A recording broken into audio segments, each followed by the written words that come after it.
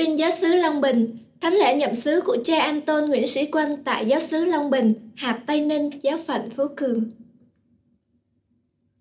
Sáng ngày 27 tháng 2 năm 2019, Đức cha Du Xe Nguyễn Tấn Tước, giám mục giáo phận Phú Cường, đã về đây chủ sự thánh lễ tạ ơn và trao ban sứ vụ chánh sứ cho cha Anton Nguyễn Sĩ Quân.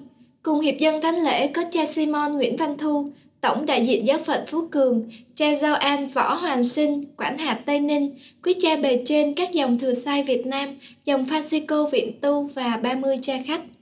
Tham dự thánh lễ còn có nhiều tu sĩ và bà con giáo dân trong và ngoài giáo xứ, ước khoảng 500 người.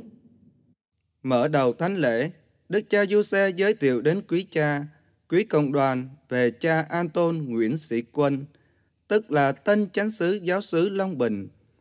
Cộng đoàn vỗ tay hân hoan vui mừng. Cha Gioan Võ Hoàn Sinh lên công bố văn thư bổ nhiệm.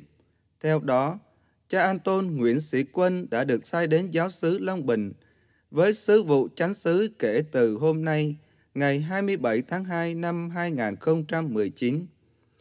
Thánh Du Xe là bổn mạng giáo sứ, vì thế trong bài giảng, Đức cha Du Xe đã chia sẻ nhân đức của Thánh Du Xe là ngay lành, hiền hòa, biết chăm lo cho gia đình, để gia đình luôn được vui tươi, no ấm, hạnh phúc.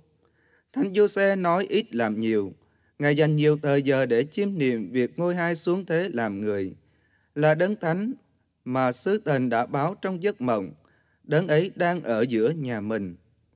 Thánh lễ diễn ra trong ngôi nhà thờ nhỏ bé, có thể nóng một chút, nhưng thấm đượm tình người, bởi mọi người ngồi cầu nguyện nơi đây.